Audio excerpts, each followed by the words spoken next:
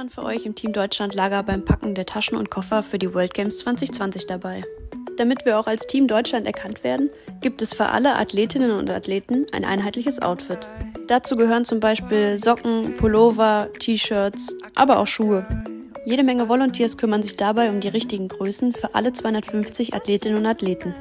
Damit beim Packen auch keine Kleidungsstücke vergessen werden, hängen überall an den Wänden solche Schilder, die die genaue Größe, Anzahl oder Farbe beschreiben.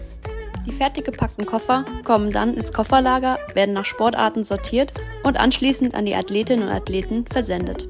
Also liebe Lena, dein Koffer ist gepackt.